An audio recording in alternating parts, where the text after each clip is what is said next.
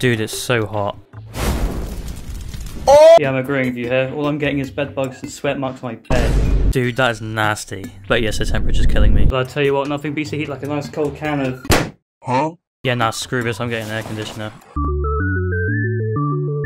Feast your eyes. So how did you afford that exactly? I had a 100% discount. I can explain. Right. Well, you might as well turn it on, we've got it now. Already way ahead of you, mate. It's not working. Oh yeah, we live in England. We can't afford electricity. Well, at least it can't get any worse.